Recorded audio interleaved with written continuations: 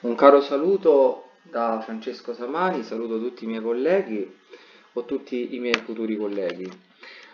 E in questa lezione mh, dedicata al concorso docenti, io dico 2020 è d'obbligo quasi dire 2021, vedremo come andranno le cose, purtroppo mi rendo conto che sono usciti diversi manuali con scritto concorso, addirittura concorso docenti 2018, successivamente concorso docenti 2019 e il tempo passa e da una parte è positivo perché si ha più tempo per prepararsi, da una parte è negativo perché giustamente eh, è giusto avere il, la possibilità di partecipare a questi concorsi e quindi sta, di avere una stabilità economica, anche perché eh, comunque il numero dei supplenti è estremamente elevato. Allora, in questa lezione, video lezione, desidero parlare della disabilità e diciamo essenzialmente di come questa disabilità viene diagnosticata, quindi diagnosi.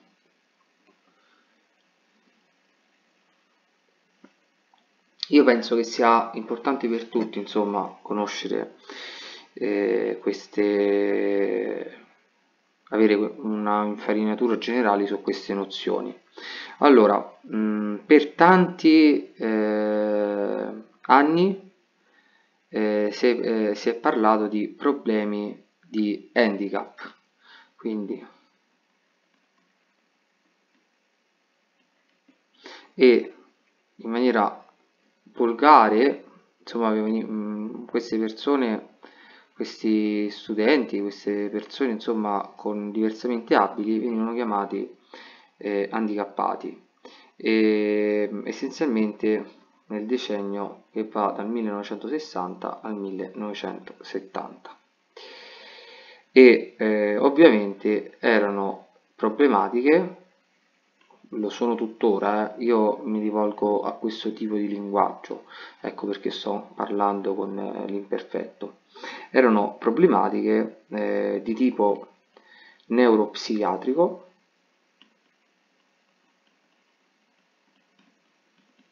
nelle, quali, nelle quali prevalentemente era presente una insufficienza,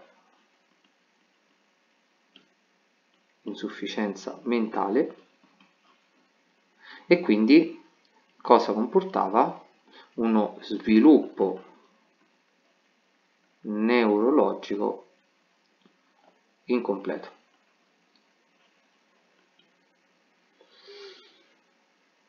Successivamente si è posto come, mm, come criterio eh, alternativo alla definizione di handicap il riscontro clinico di un danno o di una lesione fisica o psichica e ci fu l'insistenza relativa agli aspetti medico-biologici.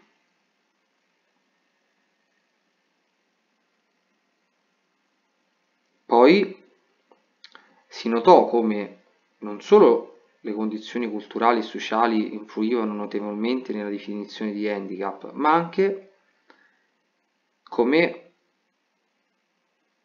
eh, anche la relazione che vi era tra l'handicap e un disadattamento sociale.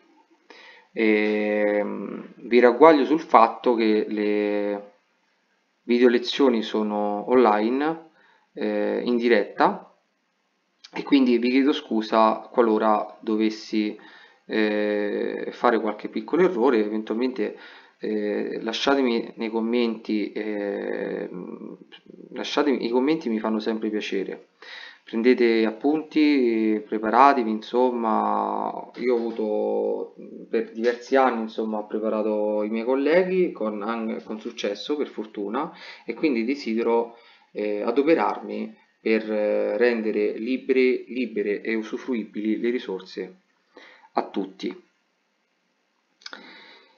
E, ehm, comunque ovviamente queste persone ehm, che avevano handicap venivano riconosciute nell'immaginario sociale come persone che eh, soffrivano, eh, che avevano eh, difficoltà eh, che le discostava eh, da un, da, un, modello di individuo socialmente accettabile. Tuttora purtroppo devo dire che eh, ragazzi down, X fragili, autistici, ovviamente non hanno una attività sociale tra virgolette nella norma, però bisogna dire che eh, sono, state, eh, sono stati riconosciuti loro tanti, sono state fatte tanti passi, tanti passi in avanti e devo dire anche sono stati fatti anche dei passi in avanti anche nel modo di eh, chiamare eh, queste persone diversamente abili. L'OMS, l'Organizzazione Mondiale della Sanità, ha, ha presentato una diversa rappresentazione sociale di handicap che è entrata anche nel nostro linguaggio comune. Si tratta di un'interpretazione del fenomeno che indica la possibilità di una conoscenza più profonda e personale dell'individuo. Sono stati classificati i criteri i quali sono relazionati con l'identificazione e la conseguenza di malattie e forme morbose ma non vengono più considerate, diciamo, propriamente malattie, quindi vengono chiamate mh, mm, forme morbose. Quindi in questa prospettiva si passa da una malattia al, ehm, alla visione di eh, persone che hanno eh, forme eh, morbose e condizioni di, mh, mm, diciamo eh, più che altro si può parlare di stati di malattia eh, che vanno anche a colpire le condizioni esistenziali. Se quindi riprendendo l'OMS, eh, ovviamente mh, io desidero fare una lezione eh, accurata e tutto quello che verbalizzo probabilmente a mio avviso ha una rilevanza inferiore però è importante per conseguire un filo logico tra le varie definizioni che darò e tutto quello che scrivo a mio avviso è, è utile che possa venire approfondito. Quindi l'OMS comincia a chiamare la menomazione una perdita o un'anomalia che riguarda cosa? Funzioni psicologiche, fisiologiche e anatomiche.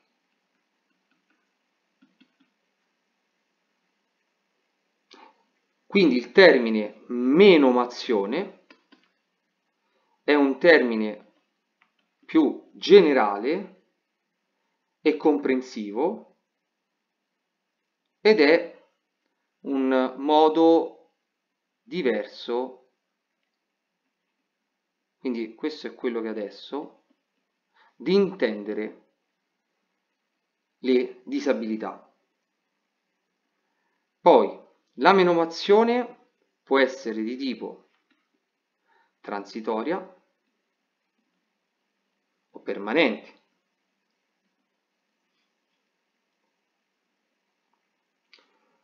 Nel caso in cui sia permanente ci possono essere delle perdite, dei difetti con una sola F o delle anomalie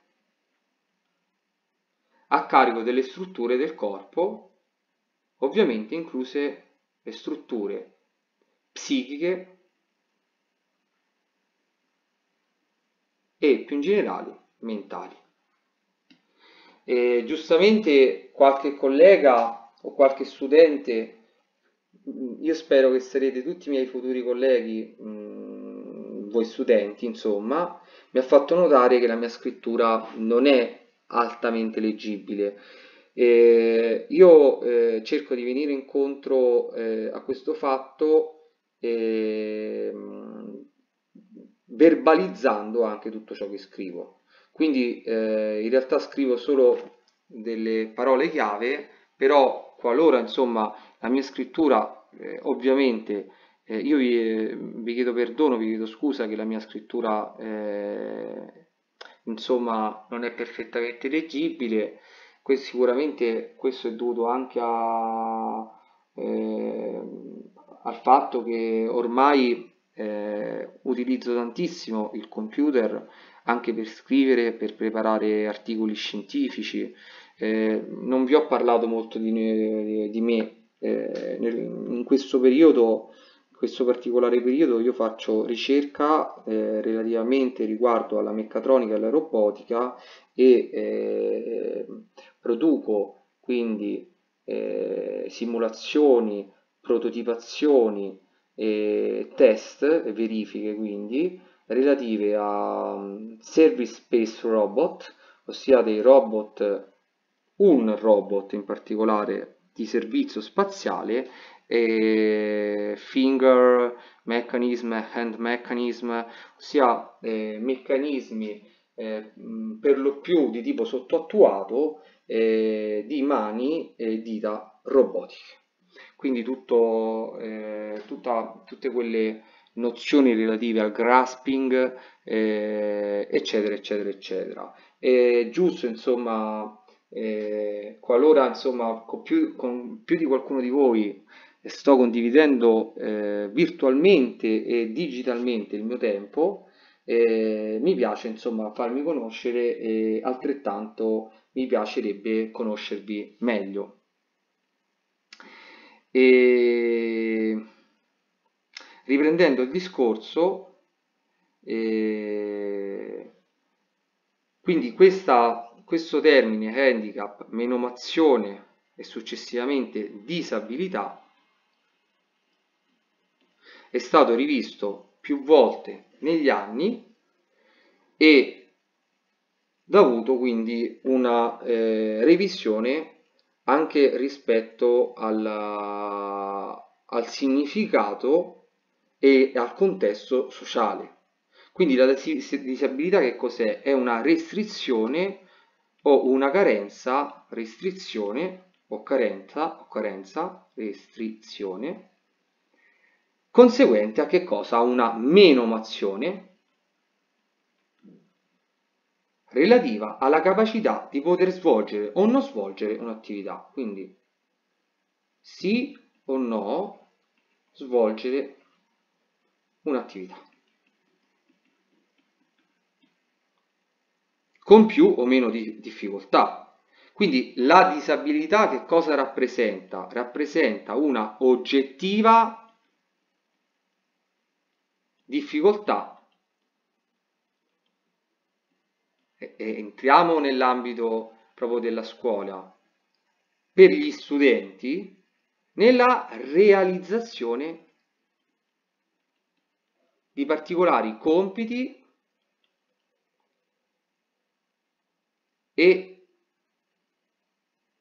una difficoltà relativa al raggiungimento di target, di goal.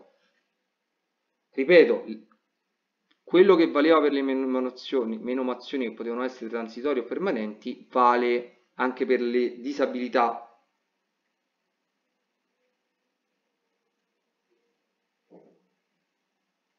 Esse con che ruolo hanno con la menomazione? La menomazione, la, la disabilità è l'oggettivizzazione, chiedo scusa, oggettivazione, chiedo scusa per l'errore, sono in diretta, non cancellerò l'errore, chiedo scusa soprattutto ai miei colleghi di italiano, e l'oggettivazione di una menomazione.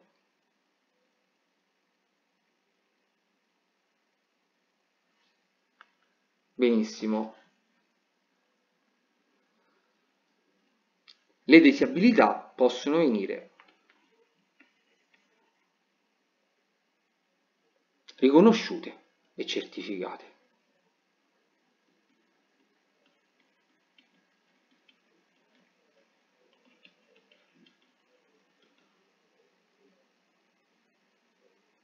E la condizione necessaria è che è sufficiente che la sfera comportamentale nel, complessivamente esprima uno scostamento evidente rispetto alle attese sociali. Quindi che cosa è che viene riconosciuto e certificato?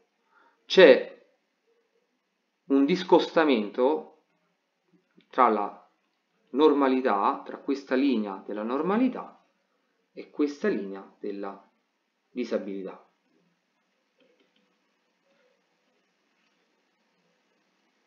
Quindi non è necessario aver subito una menomazione. E questo scostamento è relativo allo studio, al lavoro, al contesto affettivo sentimentale, alle relazioni sociali, eccetera, eccetera.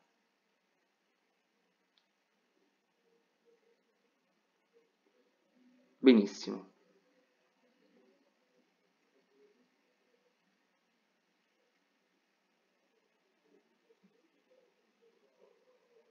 Quindi si crea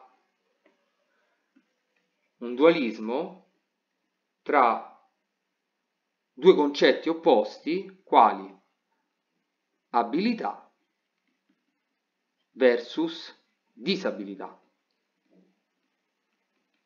La prima è la capacità, la possibilità, quindi capacità di, di effettuare azioni,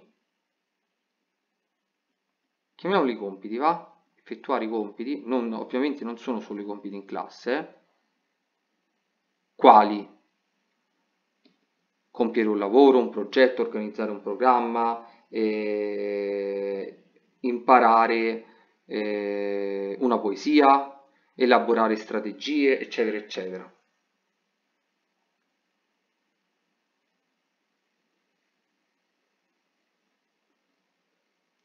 E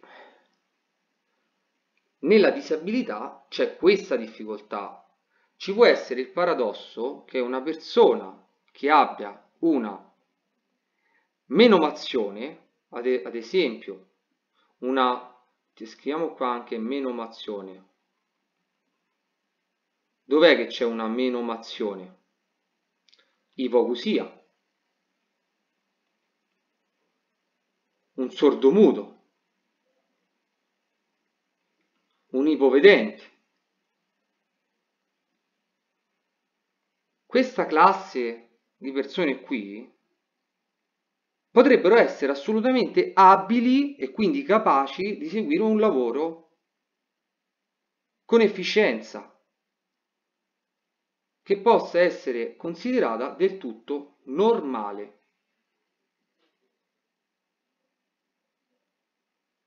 Quindi, ritornando alla parola handicap,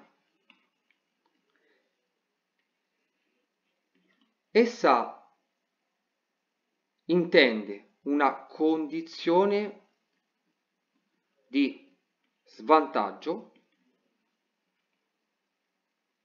in conseguenza ha due possibilità che possono coesistere.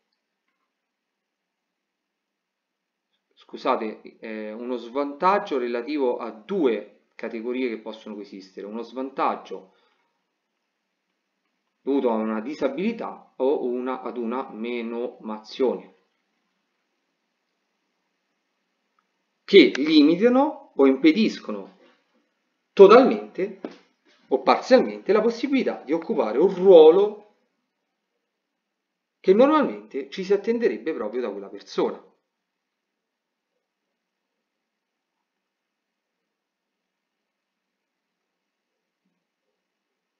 Benissimo.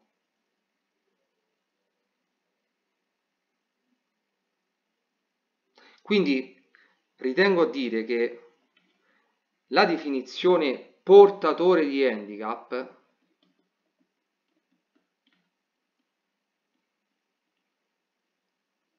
è stata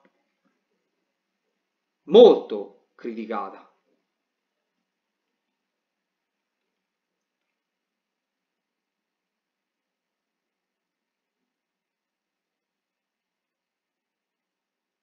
Quindi tecnicamente un deficit è un danno irreversibile, mentre, mentre l'handicap ne rappresenta la conseguenza sociale. Quindi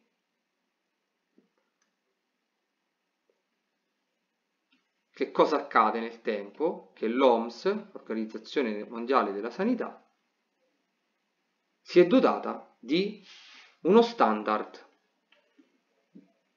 ha standardizzato le diagnosi, quindi uno standard diagnostico.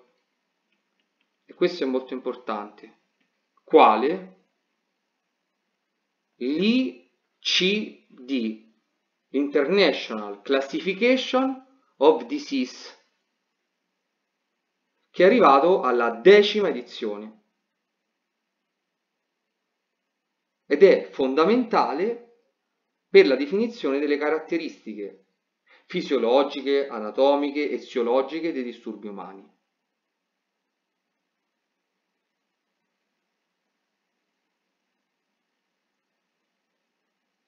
Successivamente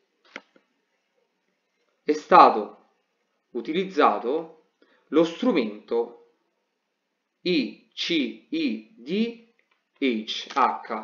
International Classification of Impairments, Disabilities and Handicaps, che pone una distinzione terminologica tra menomazione e disabilità ed handicap.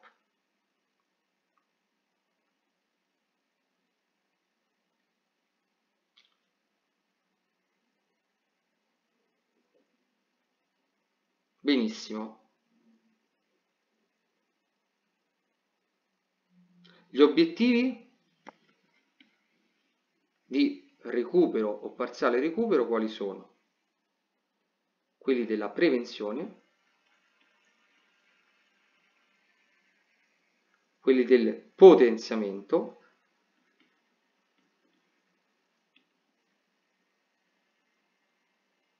quindi aiutare e migliorare la qualità di una prestazione che viene svolta, il supporto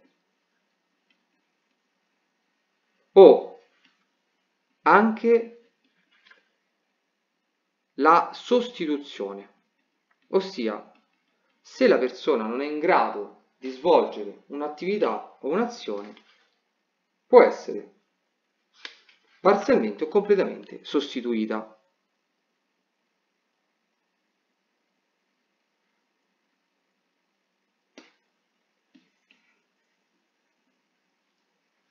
Nel 1999, sempre l'OMS, che cosa fa? Revisiona la classificazione nota come ICIDH2 rispetto all'ICIDH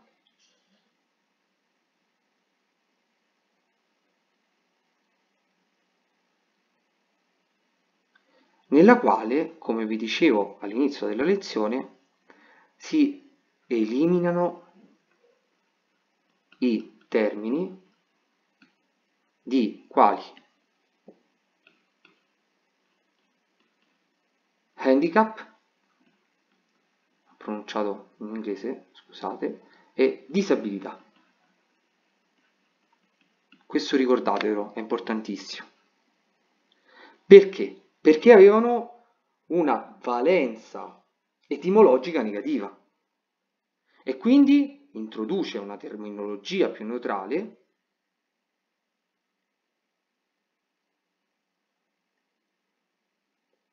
e viene introdotto al posto del termine disabilità quello di activities. E si sottolinea che esso fa riferimento non a ciò che è potenziale, potenziale ma quanto effettivamente realizzato dalla persona nella vita quotidiana. Quindi al posto del termine handicap si introduce quello di partecipazione.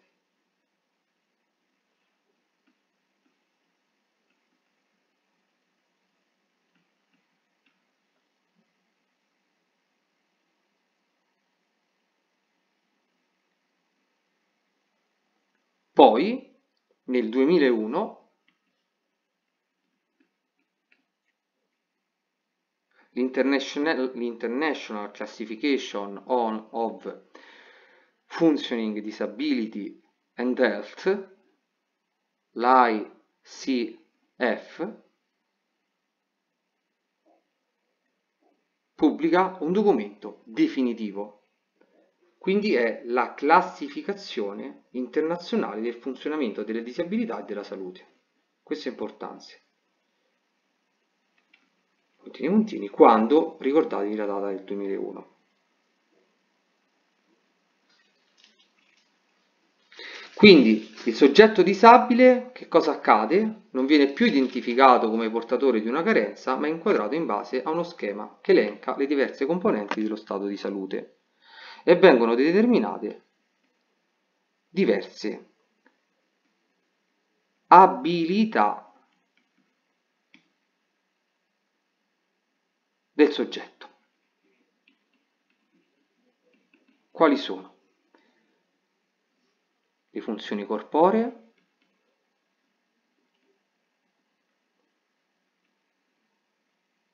quindi mentali, sensoriali, i sensi quindi, la voce, sistema digestivo piuttosto che metabolico, funzioni del sistema cardiovascolare, eccetera, eccetera. Strutture corporee.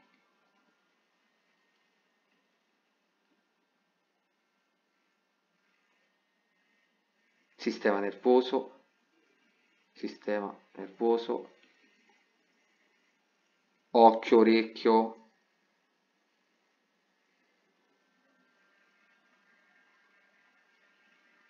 occhio, orecchio, struttura dei sistemi cardiovascolari, strutture collegate al movimento,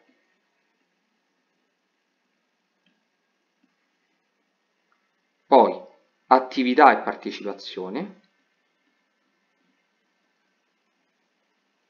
Voi ricordatevi questo, eh?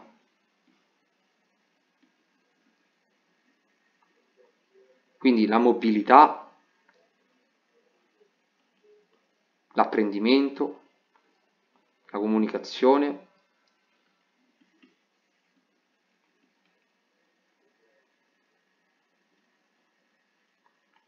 la cura della propria persona, l'igiene personale, igiene personale, cura della persona, interazioni e relazioni interpersonali, intrapersonali, vita di comunità e i fattori ambientali.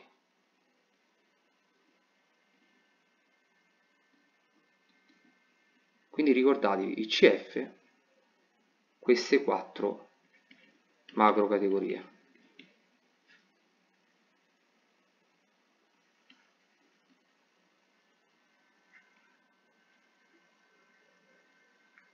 eh, servizi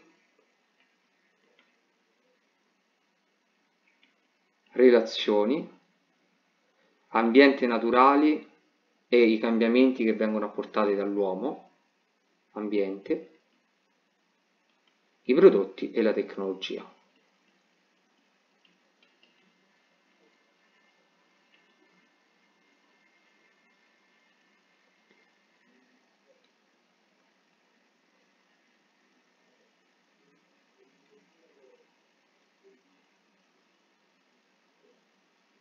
Un'altra parola importante che potrebbe essere chiesta è la versione dedicata ai bambini dell'ICF, quindi l'ICF-CY, quindi l'ICF Children. Quindi alla domanda che spesso o è probabile che venga fatta, ok? Che cos'è L'ICF Children è la classificazione internazionale del funzionamento della disabilità e della salute dedicata ai bambini e agli adolescenti in particolare, quindi direzionata verso bambini e adolescenti.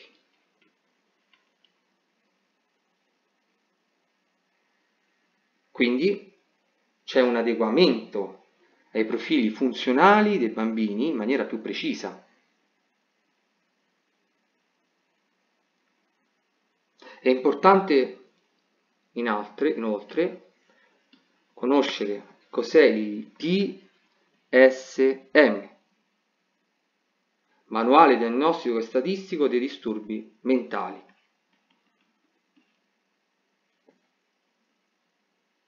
Diagnostic and Statistical Manual of Mental Disorders. È un documento americano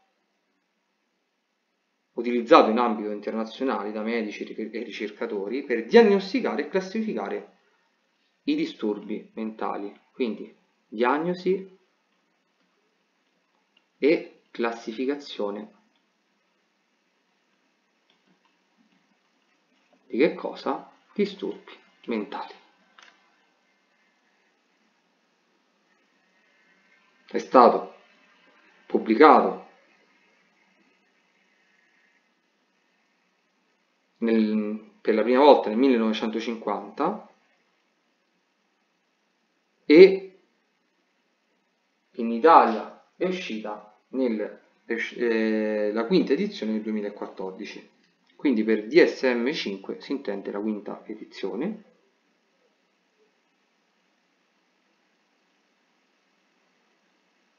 e vengono classificati che cosa? Quindi diagnosi e classificazione di che cosa? Disturbi mentali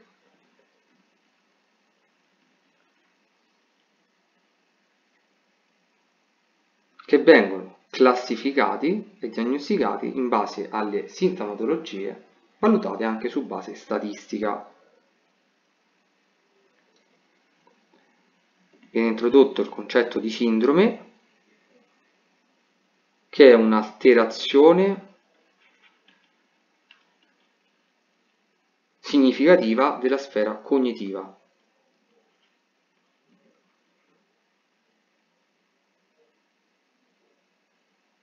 con impatto sulla regolazione delle emozioni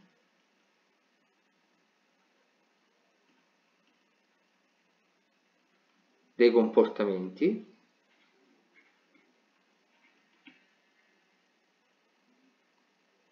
riflette una disfunzione di tipo psicologico o biologico o evolutivo creando disagio e disabilità in ambito sociale.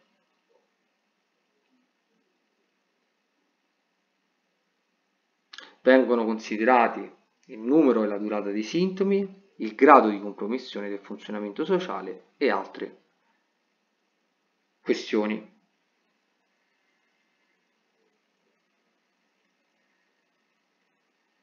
Una cosa veramente importante è che il DSM-5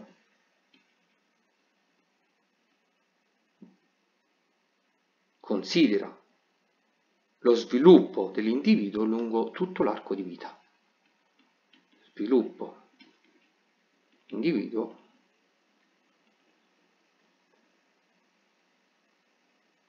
considerato lungo tutto l'arco di vita.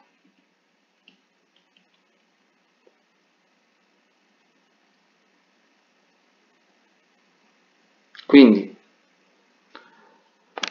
all'inizio possono venire diagnosticati i disturbi relativi ai processi evolutivi che si manifestano alle prime fasi della vita, poi seguono diagnosi di disturbi che si possono mm, manifestare più, eh, più, frequentemente in adolescenza e nella prima fase adulta, infine vengono trattate le diagnosi pertinenti all'età adulta avanzata, come ad esempio, ad esempio i disturbi di tipo neurocognitivi. Io con questa lezione direi che posso chiudere con questa prima parte. Me lo dimentico sempre di dirvelo, ve lo dico adesso, così lo dico alle persone che magari sono arrivate alla fine e sono le persone più interessate ai video che faccio, di mettere un bel pollice in su, di condividere il materiale, di iscrivervi al canale, di contattarmi, di lasciare commenti, di farmi richieste e io in, in cambio insomma vi do la mia disponibilità. Vi auguro un buon proseguimento di giornata, vi ringrazio per eh, il fatto insomma che desiderate seguirmi, mi state seguendo in tanti, sono onorato di tutto ciò. Di nuovo tanti saluti.